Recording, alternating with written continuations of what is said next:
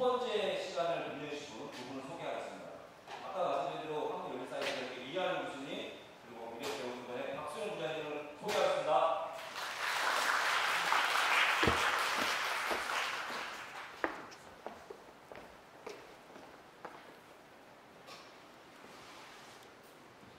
예, 안녕하세요. 반갑습니다. 이학년입니다. 네, 안녕하십니까. 미래세대우 박수영 부장입니다. 안녕하세요. 앉으시죠. 아이고, 아이고. 저희가 이 자리에는 딱 1년 만에 왔나요? 작년 5월 당주에? 예, 5월 달 때 저희가 그때만 하더라도 제목 자체가 트럼프 시대에 이렇게 어려운 시장 어떻게 극복하나 그러면서 해외 펀드 이런 얘기 할 때 제가 초대받아서 왔었는데 한 1년 만에 왔습니다. 어, 세상은 많이 바뀌는데 여전히 바뀌지 않는 것은 한국 주식에 대한 변함없는 사랑 이런 것들이 제가 꾸준하게 있고요. 제가 봤을 때 웬만하면 아마 내년에도 후년에도 5년 후에도 똑같을 것 같아요. 좀 아쉽죠? 시장에 좀 글로벌하게 시각을 봤으면 좋겠는데 아직도 너무 좁은 데만 보시는 분들이 워낙 많아서 저희가 좀 노력을 하고 있는데 그래도 많은 분들이 요즘 관심을 받으신 것 같습니다. 저희가 이미 공지해드렸다시피 그리고 이미 팟캐스트나 유튜브에서 말씀드렸다시피 저희가 여러 가지 행사를 하고 있는데 이번에는 미래셋 대우 IWC2라는 점포인데요. 이게 좀 말이 좀 어렵습니다. 어, 어떤 건지 좀또 설명 듣겠지만 어, 예를 딱 쉽게 얘기하면 예전에 미래셋 본사가 대우증권 시절에 여의도에 딱 있었어요. 여의도 본사. 거기에 있는 대형 점포에 오늘 저희를 초대를 해주셔서 오늘 이렇게 영광스러운 자리를 함께 됐습니다. 오늘 그 주인공이죠. 같이 이번에 이런 같은 행사를 콜라보로 같이 주최해 주신 박수영 부장 모시겠습니다. 안녕하세요. 안녕하세요. 반갑습니다. 저는 좀 알려져 있어요. 조금요. 저를 그럼요. 저를 네. 생전 처음 보는 분 한번 손 들어보세요. 저기 애기 말고, 애기 말고, 애기 말고 두 분 정도 있는데 약간 거짓말하는 분이 계신 것 같고요. 조금은 알려져 있는데 박수영 부장은 아마 거기에서 알려졌을 것 같아요. 그 회사 안에서 유명한 분 같은데 어떤 이제 본인 소개 좀 해주세요. 네. 아, 제가 제 소개를 드리려고 간단한 PT를 준비를 했는데요. 네. 글씨가 너무 작아서 잘 안 보이실 겁니다. 열심히 학창 생활을 하고 제가 이제 회사에서 두 군데 회사를 다녔습니다. 크게 정리를 하면 제가 2001년도 제 97학번이에요. 생각보다 학번이 그쵸? 빠르죠? 97학번인데 41개 공채로 제가 삼성그룹에 입사를 했었고요. 그쪽에서 9년 정도 재직을 했습니다. 9년이 넘어서 10년이 되면 사실 금을 받거든요. 금을 못 받고 나왔습니다. 그래서 삼성에서 제가 대우증권으로 2010년도에 입사를 했고요. 2010년도부터 지금 2018년도니까 9년 차 지금 증권 업무를 하고 있는데 제가 왜 이 두 가지 회사에서 이직을 했느냐를 좀 설명을 드리려고 해요. 제가 할 줄 아는 게 뭔지 아셔야 저하고 이제 거래를 하실 거잖아요. 제가 삼성에 있을 때는 VIP 고객분들을 이제 영업하시는 분들이 모시고 오면 그분들에게 그 자산 컨설팅 하는 업무를 했어요. 가장 많이 한 게 상속, 증여 이런 세무 컨설팅 많이 했었고요. 그 다음에 갖고 계시는 자금들을 어떻게 배분해서 노후 관리도 하시고 자산 증식도 하시고 요즘에는 어떤 투자 시장이 맞으니까 부동산과 금융자산의 비중도 맞춰드리고 부동산 전문가들과 팀을 엮어서 부동산 투자하는 거 수익성 분석도 해드리고 이런 업무를 했는데 제가 약간 여기서 한 5년 이상 근무를 하고 나서부터 고민에 빠졌어요. 왜냐하면 컨설팅은 컨설팅에서 끝나게 돼요. 그리고 그런 액션이 필요한 실행을 고객분이 얘기 듣고 정말 좋다라고 했는데 돌아가시면 실행을 못 하시는 거예요. 그 중에 이제 상속과 증여를 하신 분들도 있고 없으신 분들도 있는데 그러기 위해서 제가 업무를 조금 더 어, 실행력을 강화하기 위해서는 회사를 바꿔야겠구나라고 생각을 했고 그래서 보험회사에서 증권회사로 제가 이직을 하게 된 게 제가 드린 컨설팅을 바로 액션을 시켜드리기 위해서 바꿨거든요. 그래서 저에게는 직장 생활 중에 절반 이상을 증권 업무를 이미 경험을 했고 그 도전에 성공을 하느냐 마느냐 기로해서 선택이 어렵긴 했어요. 혹시 이직해 보신 분 계세요? 이직이라는 게 이혼을 한 만큼 굉장한 스트레스라고 하더라고요. 근데 적극적으로 저는 도전을 해서 대우증권에 예, 왔고 재작년부터는 이레셋 대우라는 이름으로 저희 회사에서 일을 하고 있는데 지금 제일 중점적으로 하고 있는 거는 자산 배분 전략, 종목 그리고 금융 상품을 셀렉팅하는 방법들 그런 것들을 많이 관련을 해드리고 있는데요. 이 상품들을 초이스하는 데 있어서 가장 중요한 거는 거시경제 흐름을 잘 보시는 것들이 굉장히 중요하거든요. 그러니까 우리가 보통 금융자산에 투자한다 그러면은 가장 먼저 해야 될 게 뭐냐면 주식과 채권의 비중을 먼저 정하는 일이에요.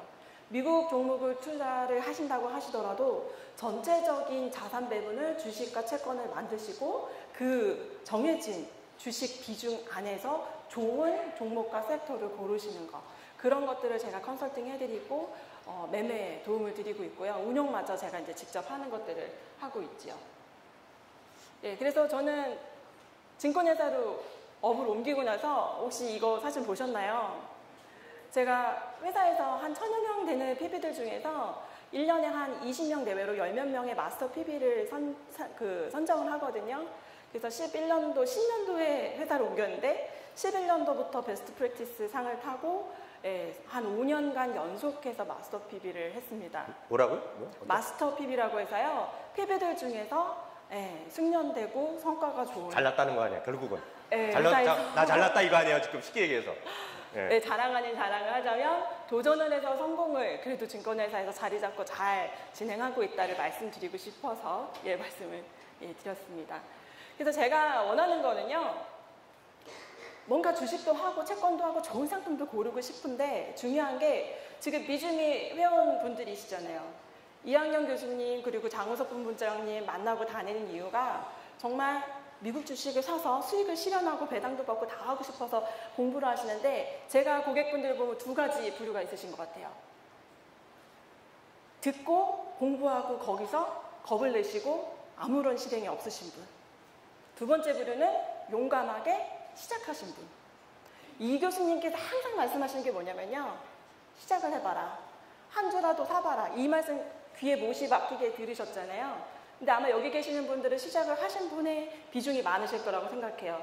오늘 이렇게 날씨 좋은데 이런 날 어, 여기까지 의욕을 가지고 공부하러 오셨는데요. 그런 액션을 저는 빨리 하실 수 있게 도와드리려고 하고 있고요.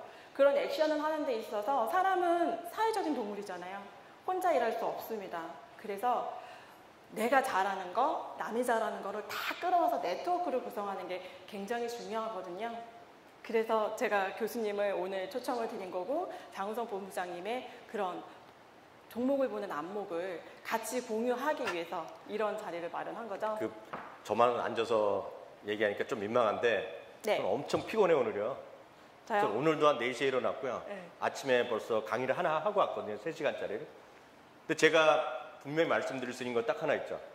박수영 부장께서 지금 부장도 아니고 차장 시절에. 네, 차장 시절에. 네, 몇 년 전에 저한테 연락하셨죠 네 맞습니다. 3년 됐습니다. 3년 동안 쫓아다녔어요. 저랑 이런 걸 강의를 한번 해달라고. 근데 전화 본부장이 절대 안 알려줬죠. 특히 이 박수영 부장의 상관이 있잖아요. 예를 들면 센터장이 저랑 같이 대우증권에서 같은 부서에 같은 팀에 제가 부장할 때 그 친구가 차장하던 친구거든요. 근데도 제가 안 해줬어요. 이유가 딱 있었죠. 이유가 미국 주식에 대해서 그렇게 insight가 아직 없었어요. 회사에서는 박현주 회장이 막 하라고 강의하는데 직원들이 준비가 안 돼 있었어요. 근데 제가 봤을 때 올 벌써 한 3, 4월에 다시 연락이 왔는데 저한테 무서워서 안 오죠. 우리 본부장이 인품이 있어 보이고 순하니까 딱 전화를 받아주니까 딱 다시 연락이 왔는데 제가 그때 느낀 거는 많이들 얘기하잖아요. 약간의 진정성? 그 정도 약간 있었다라는 정도 말씀드리죠. 예. 네. 사실 여기 계신 분들 미국 주식 굉장히 쉼 없이 올랐는데요. 왜 이쪽에 회원이 되셨을까? S&P 500 차트로 제가 한번 만들어 봤거든요. 예, 서브프라임 모기지 사태가 일어나고 그 이후에 사실 S&P, S&P 500 이 인덱스를 따라가는 어떤 더 성공한 투자 보신 적 있으세요? 어떤 종목도 어떤 부동산도 이 미국 인덱스를 따라가는 투자는 없었습니다. 근데 지금 보시면 미국 주식이 어, 미국 주식에 미치다라는 이 페이스북 페이지하고 답이다라는 이 책이 2016년도 초에 나왔거든요. 2016년도 초에 많은 증권회사의 직원들도 미국 주식이 쉼없이 올라왔기 때문에 다들 겁내했어요. 근데 여기 계신 두 분은 어떠세요?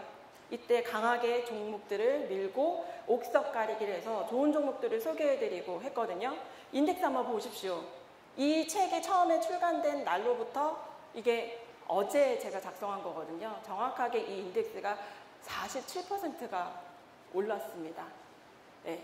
그만큼 자신있게 시장을 잘 보시는 이 두 분의 능력을 저는 이때까지 히스토리를 보고 옆에서 지켜봤기 때문에 어, 이두 분과 함께 일을 하려고 3년 전부터 굉장히 예, 노력을 해왔고 그 결실을 맺어서 오늘 첫 회 세미나를 진행을 하게 되었습니다. 제가 볼 때 아까부터 사람은 혼자가 아니라고 했잖아요. 그래서 제가 제일 잘하는 것들 그리고 교수님과 본부장님 잘하시는 거 이런 모든 네트워크를 다 묶어갖고 여기 계신 회원님들이 활용을 하셔야 돼요. 중간에 보면 투자자죠. 미국 주식에서 결실을 맺기 위해서 내 뒤에 다 포진을 하시는 거죠. 전문가들로. 처음에 이제 미주미 운용 전략들을 macro insight를 받으시기 위해서 이런 공부를 하셔야 되고요. 그 다음에 운용을 하시려면 계좌가 있으셔야 되잖아요. 최고의 수수료와 뭐 그런 인프라를 갖춘 제1의 회사잖아요. 그 미래에셋 대우의 시스템을 운영하면서 거기에 PB를 저를 활용해서 계속 도움을 받으시고요. 그 다음에 중간중간 check-up을 하셔야 되기 때문에 오윤희 과장님 잘 알고 계시죠? 오윤희 과장님과 저가 미래에셋 대우 이름으로 해서 심화과정 투자교실도 매월 진행을 할 예정입니다. 이런 것들의 네트워크를 충분히 활용하시고 성공하는 투자에 이르시기 바라기 위해서 네트워크를 활용해라. 라는 거를 굉장히 오늘 강조해드리고 싶었고요. 네, 종목에 대해서도 좀 교수님과 이야기 나누려고 했는데요. 네. 교수님 이 종목들 굉장히 많이 미셨던 종목들이시죠.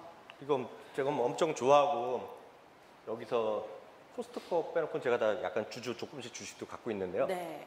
일단 궁금한 게 네. 이건 뭐 좋다는 주식이 다뭐 다들 아시는 회사인데 그 고객분들 계시잖아요 이미 네. 미래셋 네. IWC2에 계시잖아요. 제일 많이 갖고 있는 주식은 제가 아마존일 것 같아요. 왜냐하면 맞습니다. 박현주 회장이 직원들한테 무조건 아마존을 사라고 얘기를 많이 했기 때문에 샀을 것 같은데 또 딴 거 뭐 좀 어떤 거로 많이 갖고 네. 있어요?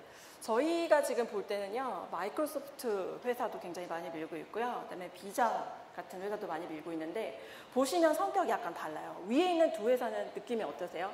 우리 요즘에 유행하는 4차 산업혁명 거기에 선두를 달리고 있는 회사다 동의하시죠? 예. 그래서 쟤는 많이 갈 것 같은데 밑에 있는 회사들을 보면 어때요? 되게 되게 traditional이라고 써놨죠? 전통적인 회사예요. 요즘에 혁신적으로 날아가는 회사를 사야지 전통적인 그냥 그냥 그런 기업을 운영하는 업체에 있는 종목을 왜 사나라고 말씀하실 텐데 저도 이 회사들을 공부하고 나서 굉장히 놀랐는데요. 특히 비자 같은 경우는 우리 카드 지갑 다한 비자 카드 없는 분 아마 안 계실 거예요. 비자 카드의 마켓시어가요. 전 세계 카드 회사 중에서 50%예요. 그 다음에 2등이 뭘까요? 마스터카드. 50% 근데 2등이 25%의 점유율을 차지하고 있거든요. 근데 우리가 비자 카드를 발급받으려면 비자 회사에 가나요? 어디에 가죠? 각 그냥 원하는 은행의 카드사를 발급을 받는데 해외에서 쓰기 위해서 비자와 마스터 중에서 택이라는 경우가 많아요. 그러니까 이미 모든 전 세계의 카드 회사들은요. 세계 결제망을 쓰기 위해서 비자한테 우리도 회원사로 넣어줘 이렇게 요청하는 거거든요. 근데 특히나 요즘에 전자상거래 매- 많이 하고 계시고 아마존에 있는 물건을 사시는 직구하시는 분들도 많아지는데 그게 비단 우리나라만의 문제가 아니라 동남아에 있는 그런 국가들도 이런 전자상거래에 굉장히 힘차게 마켓 시어가 높아지고 있거든요. 그럼 전통적인 카드 회사들을 운영하는 피- 비자가 왜 전자상거래가 커지는데 돈을 벌게 되는 구조가 될까요? 일단은 카드는 우리나라에서는 되게 만연화된 결제 수단 중에 하나지만요. 다른 나라 특히나 이 개발도상국 이하의 베트남이나 이런 데 가시면 거의 현금으로 결제해요. 그런데 전자상거래로 하려면 카드 결제가 편하거든요. 그러니까 페이팔이라는 거 들어보셨죠? 그러니까 페이팔은 사실은 저 상단에 있는 아마존, 마이크로소프트 같은 4차 산업, 4차 산업혁명에 해당이 되는 그런 업체의 회사가 맞아요. 근데 페이팔이 결제되는 상당량이 비자를 거쳐갖고 카드 결제를 하거든요.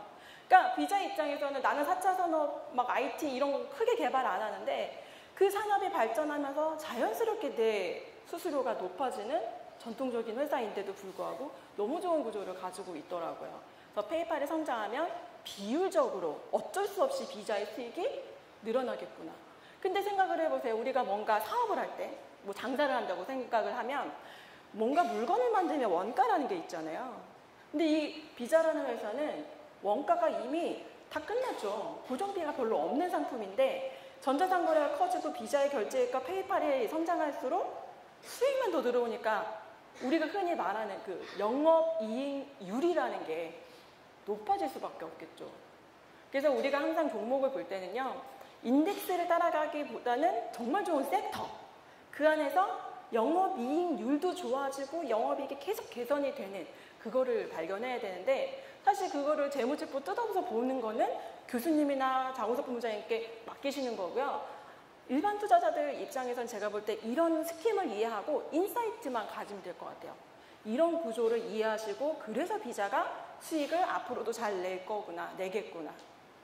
이렇게 해서 저는 종목 선택을 좀 많이 권해드리고 이해를 쉽게 하기 위해서 생활을 좀 발견하시는 거를 권해드리고 있고요. 또 하나 옆에 있는 코스트코 이 교수님께서 말씀하셨는데 코스트코 회원이신 분 계세요? 네. 아마 집 근처에 코스트코가 있는데 회원이 아신, 아니신 분들 없을 거예요. 우리 보통 이마트 같은 경우는 돈을 버는 예, 구조가 어떻게 돼요? 하청업체 막 푸시해서 싸게 원가에 물건 갖고 와서 고객한테는 비싸게 팔아서 마진을 남기는 구조인데 코스트코는 돈을 버는 구조가 아예 달라요. 이 회사의 대부분의 수익의 원천은요. 코스트코 보여드릴게요. 생각보다 코스트코 전통적인 회사고 요즘에 오프라인 시장 다 망가진다더니 코스트코는 주가가 계속 오르고 있죠. 2018년 돼서도 더 쉼없이 오르고 있는데요. 얘네 대부분의 수익원은요, 연회비예요, 연회비. 그러니까 얘네는 물건을 많이 팔 이유가 없어요. 그냥 가입된 사람의 숫자 머릿수만 많으면 되거든요. 그래서 그 연회비를 운영을 하고요. 좋은 물건을 좋은 가격에 박리담회하는 그런 형태라고 하거든요. 그래서 이게 이제 외국에서도 계속 많이 퍼지고 이런 것들 때문에 예, 전통적이지만 오프라인 사업 중에서도 아직까지 성장하는 그런 모습들을 보여주고 있는 종목이죠. 네. 그래서 교수님, 근데 우리 이제 사실 배당에 대해서 고민할 시절이 오지 않았나요? 그러니까 그 제가 제일 궁금한 게 저는 이렇게 나이가 좀 들어갔고 배당 이런 걸 좋아하는데요. 그 고객분들은 젊은 분들은 많잖아요. 네. 배당주 이런 거 사라 그러면 사세요? 솔직히? 그러니까 배당이라고 하면은 이때까지는 사실 국내 주식 갖고 있으면서 배당 한번 받고 배당 나기 연말에 있구나 요 정도만 알고 계시는데요. 그래서 찬바람 불면 배당주라고 저도 그쵸. 방송에서 얘기하죠. 네. 예. 속으로 말하면서 사실- 이런 말 해도 되나? 어이없다는 얘기하지만 그렇게들 많이들 얘기하거든요. 네. 그래서 1년에 사실 한 번 나오는데 우리나라 회사는요, 배당을 많이 안 하는 회사들이 많았죠. 그래서 정부에서 최근 2, 3년 사이에 배당 많이 해라 라고 해서 배당을 유인하는 정책들을 세제적으로 많이 쓰고 있는데 미국은 구조가 좀 다르죠. 그죠? 네. 네. 그 배당에 대한 미국 구조 좀 알려주세요. 미국의 배당은 대부분 이제 네 번 하죠. 한 달에 1년에 네 번 하고 자주 하는 것은 1년에 뭐 12번 하고, 하고 월 배당도 있고 물론 이제 성장 계속하는 기업들 아마존이나 뭐 넷플릭스 이런 것들 페이스북 이런 건 배당을 안 하죠. 여러분들 많이 또 갖고 계실지를 있는 벅시에스웨이는 또, 또 다른 이유로 배당을 안 하는데요. 문제는 이제 배당 받는 게서 배당으로 돈 버는 기, 기쁨이 쏠쏠하잖아요. 그게 그쵸. 저희 그 카페에 이렇게 보면 제일 활발한 날이 있어요. 제가 쓰는 게 아니라 제일 많은 회원들이 올려갖고 제일 활발한 날이 혹시 여기 계실지 모르겠는데요. 애플 주주 한번 손들어 보세요. 애플 주주. 그러니까 오유 엄청 와, 나시잖아요. 많으시네요. 이분들이 네. 이게 애플은요 배당이 일정 한 8% 그것밖에 안 돼요 연이. 그렇지만 아무것도 아닌데 한 2주 전에 딩동하고 오잖아요. 딩동. 모르겠어요. 미래에셋으로 오는지 안 오는지는 네, 모르겠는데 서비스가 있습니다. 미래에셋 와? 돈 받는 네. 거 아니에요? 네. 돈 안 받아? 무료로 딩동? 하죠. 네. 하나금융에 제가 은행 은행에서 입출금 하라면 800원 내려서 내가 안 하거든 돈 아까워서. 아. 근데 거저에 거저. 저희 푸시 알람은 무료입니다. 아, 근데 제가 말씀드린 거가 그거 할 때 보면 인증을 해 누군가 그럼 저도 받았다 저도 받았다 하죠. 네. 저는 모르고 있더라고요. 저는 이제 그런 거 무심하니까 음. 있더라도 제가 부산에 간 날 갑자기 뭐 여기서 저는 뭐 저는 이제 관리자니까 계속 배치가 뜨잖아요. 뭐 왔다. 네, 네. 그날 뭔지 아세요? 난 정말 대박이에요. 배당률이 1%가 채 안 되는 기업이 있어요. 연. 여러분들이 아시는 회사 중에 누구나 다 알아 여기. 한 명이라도 없으면 내가 진짜 다 오늘 맛있는 거 다 사주고 책도 제 책을 제 돈으로 다 뿌릴게요. 그게 비자예요, 비자. 비자가 9월 4일날 배당이 들어왔어요. 맞습니다. 제가 어떻게 알겠어요? 알람을. 저는 보시고. 아도 관심이 없는데 들어오나 말고 저는 그 문자 설치 안 하는데 근데 나 회원님들 때문에 아는 거예요. 단 0.9%거든 연 배당률이. 네. 그래도 좋다고 비자 혹시 주주 있어요 여기? 그 이분들은 행복한 거죠 행복. 네, 여기 계신 분들 정말 실행을 잘하신 분입니다. 행복해 행복. 네. 예. 어디 가서 달러를 벌어요? 네. 그래서 보시면요, 이 배당을 주는 좋은 종목들이 미국에는 많이 있고요. 배당 성향이라는 게 있어요. 우리가 사업을 한다고 생각하세요. 그러니까 여기서 계신 분들이 주식을 살 때요, 그냥 주식을 한 주를 뭐 100원에 사서 150원에 팔아갖고 차익 먹겠다 이렇게 하시는 게 아니라 그 회사의 사업을 같이 한다고 한번 상상을 해보시는 거예요. 그 회사가 단기 순이익을 연에 벌어들이면 벌어들인 돈을요 주주가 회사의 주인이잖아요. 그래서 이익분을 나눠 가지는 건데 그 나눠 갖는 비중 자체를 설명하는 게 배당 성향이에요. 이거를 공식적 그 공식화해서 뭐 배당 받는 금액 나누기 이 회사의 단기 순이익 뭐 이렇게 하면 어렵잖아요. 이 회사가 번 돈을 주주한테 얼마나 몇 퍼센트나 나눠주냐를 가지고 배당 성향이다 간단하게 이해하시면 될 것 같고요. 그리고 이런 배당 자체를 하는 참여하는 기업이요. 미국 100개 기업이다라고 하면 85개 이상의 기업들이 배당을 하고 있어요. 국내와 굉장히 다른 모습이고요. 그 중에서도 배당 귀족주라고 불리는 종목들이 있습니다. 이것들을 저희는 정의를 어떻게 내리냐면 25년 이상 배당을 한 게 아니라 배당의 양을 계속 늘려온 기업들을 배당 귀족주라고 하는데요. 이 배당을 받으면 생활비로 쓰실 수도 있겠지만 어떻게 하는 게 제일 좋을까요? 이 배당을 다시 재투자해서 그 주식을 사면 내가 갖고 있는 주식 수가 계속 늘어나잖아요.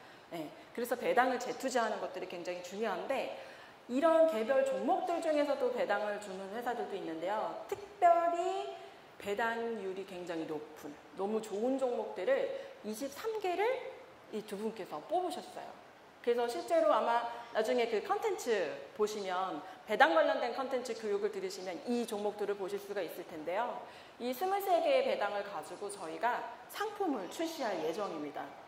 이것들을 사실 저희가 설명을 드리면 돌아가셔서 집에서 비율대로 나눠 갖고 매수하시는 분들도 있지만 매수를 못 하시는 분들도 많을 거고 배당이 나오는 날짜가 사실 아까 말씀하신 것처럼 종목이 다 날짜가 다르잖아요. 다르죠. 네. 그 다르게 지급되는 배당을 또 재투자하고 이런 거를 개인이 본인의 생업이 있는데 따로 실행한다? 정말 어려운 일이거든요. 그래서 그런 것들을 전부 다 저희가 직접 운용해 드리는 상품을 출시할 예정이어서 소개를 살짝 해드리면 이 미주미의 이건 지적 재산이거든요. 그래서 제가 앞에 이름을 조금 가려드렸어요. 아쉽지만 예, 가려드리고 처음에 보시면 1, 2, 3번에 해당인 게 다 A로 티커가 시작이 되네요. 보면은 배당률이요. 8%대, 10%대, 12%대. 아까 앞선에서 그 비자나 이런 거에 본 배당률하고 굉장히 다르죠. 배당에 특화되어 있는 종목들이고 이 중에서는 그 부동산을 임대해서 거기서 나오는 배당금을 나눠주는 그런 리얼티에 관련된 상품들도 굉장히 많이 있어요. 근데 이제는 사실은 굉장히 많이 미국 시장이 성장을 해가지고 제가 볼 때는 그 포트폴리오 비중이 되게 중요한 것 같아요. 성장주 이때까지 많이 하셨잖아요. 성장주는 계속 아직 성장하는 기업의 종목들만 셀렉팅해서 아마존 뭐 마가 많이 갖고 계시죠. 그런 것들 종목을 비중을 충분히 가져가시되 이제는 어, 어떤 사실 흔들림이 시장 흔들림은 언제든지 올 수 있거든요. 흔들림이 오더라도 배당률을 충분히 받아서 재투자해서 나의 사이즈가 계속해서 주가가 오르지 않더라도 내 사이즈가 물가만큼 이상 오버해서 오르게끔 포트폴리오 짜는 전략을 이제는 하셔야 될 것 같거든요. 그래서 그런 상품들을 저희가 출시 전략을 갖고 있으니까 예, 나중에 문의를 주시면 상품을 말씀을 드리도록 하겠습니다. 예, 이렇게 해서 예, 저희가 이제 앞으로 왜 박소영과 거래를 해야 하는지, 왜 미래에셋 대우인지 그것만 말씀드리고 제가 자리를 물러나려고 하는데요. 향후의 서비스 계획은 이런 투자 교실을 통해서 아까 마이크로 관련된 것들도 많이 보셔야 되잖아요. 이 교수님 강의 많이 들으시고요. 오윤희 과장님과 제가 진행하는 이런 투자 교실 이야기도 매월 진행을 해서 그 양방향 소통이 되는 그런 투자 클럽을 운영할 예정이고요. 그다음에 지금 두 번째로 말씀드린 그 배당 포트폴리오 직접 매매하실 수도 있으시죠. 콘텐츠를 가지고. 근데 그게 직접 생업과 동업화, 동행해서 가기는 쉽지 않기 때문에 그 상품이 출시가 되면 눈여겨서 보시고 가입을 해주셨으면 좋겠다라는 말씀 드리고요. 그 다음에 또 중요한 게 하다가 모르는 거 막 막히면 답답하시잖아요. 그 자꾸 해결을 해야 되는데 그 해결을 좀 빨리 하려고 제가 한 분이 저한테 물어보시면 그 한 분을 위해서 저는 매뉴얼을 만들어요. 그리고 그 매뉴얼을 보관하고 있다가 똑같은 질문이 오시면 굉장히 실시간으로 카톡으로 답변을 드리고 있는데 이런 빠른 스피디한 피드백을 오인우 과장님과 제가 진행하면서 예, 주식 투자하는데 도움이 될 수 있도록 노력을 하고 있습니다. 그 마지막으로 저희 회사 시스템에 대한 자랑 조금만 하고 내려가겠습니다. 그 사실 환전이라는 게 필수잖아요. 미국 시장에 투자를 하다 보니까. 근데 우리는 미국에 집이 있고 미국에서 생활하는 사람이 아니기 때문에 이게 사실 환 손익까지도 고민을 해서 투자를 하셔야 되는데 이 여행 가실 때요. 제가 그 달러가 아닌 제3국에 가가지고 여행을 했더니 돈이 남아서 한국에 와갖고 다시 환전을 했어요. 환전을 두 번을 캐시로 제3국통을 해버렸더니 중간에 날아가는 게 거의 뭐 16, 17%가 날아가더라고요. 그만큼 아무것도 안 했는데도 그 환에 대한 스프레드가 벌어지면 나의 손실에 내 투자 수익률에 영향을 주는 거거든요.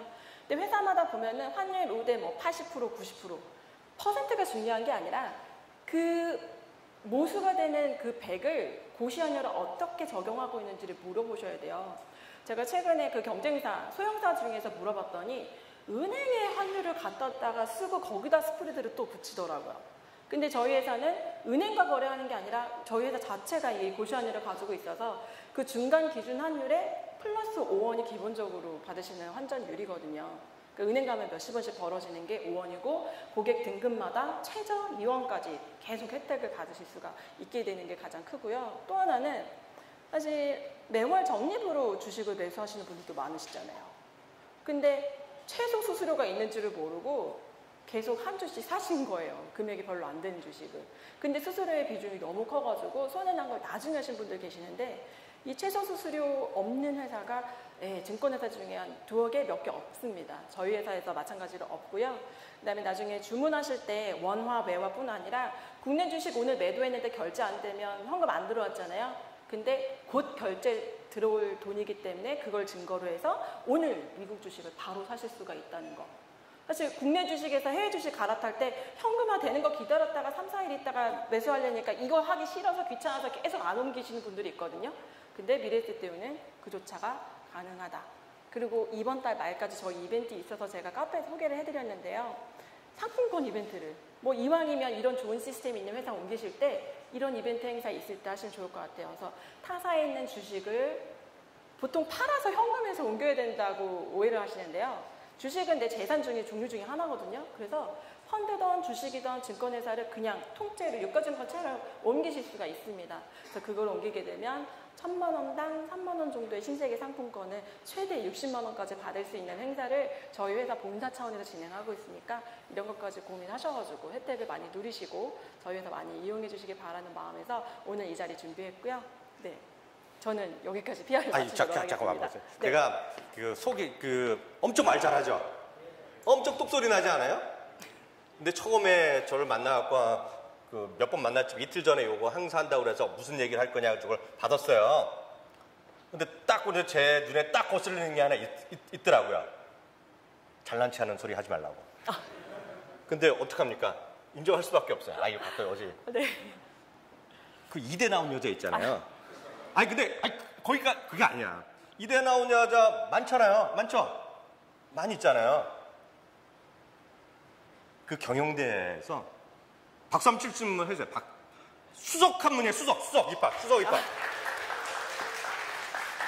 수석은 어디 가나 인정받아요. 네, 최고의 그래서 제가 이제 고등학교 때 정말 공부 열심히 했거든요. 그래서 고등학교 안한 사람이 어디 있어요? 네, 저- 거기까지만 해도 예. 더 무슨 말을 하려고? 아, 무슨 말 하려냐면 제가 사실은 수능 볼 때 1% 안에 들었어요. 예, 그래서 저 더- 0.1에 들은 남자인데요? 아 정말요? 어, 0점에는 정말 독보적인 거라서 아이고, 그 미치겠네. 1% 안에 들 동안 열심히 노력을 해서 사실 아. 중고등학교 학창생활 보냈는데 제 요즘의 목표는요. 제 고객분들의 계좌가 상위 1%에 도달할 수 있도록 0.1로 만족도가 가야죠. 0.1은 좀 힘들고요. 0.1에 가야죠. 네, 0.1. 만족도를 아 근데 실제로 네. 제가 운영해드리는 레버카운트에 갖고 계신 제 고객분들은요 저희 부서에서 보면은 거의 수익률은 좀 독보적이에요. 제가 어, 증권회사만 근무하지 않았잖아요. 그러다 보니까 그 DNA가 보험회사는 되게 보수적이거든요. 하여튼 0.1이에요. 네. 아, 이- 네. 일은 아무것도 아니죠. 그런가요? 하여튼 그래서 만족도와 수익률들을 좀 상위 클래스에 모시기 위해서 최선을 다해서 오늘도 어제도 일을 하고 있다는 거 그런 노력을 하고 있다는 거 말씀드리고 싶습니다. 더 더욱더 요 노력하는 박소영장이 되도록 하겠습니다. 네, 수고하셨습니다. 감사합니다. 감사합니다. 아, 그 제가 왜 0.1 얘기하냐면요. 애들 키워보시잖아요. 애들 결혼 안 하신 분도 계시지만 저희 집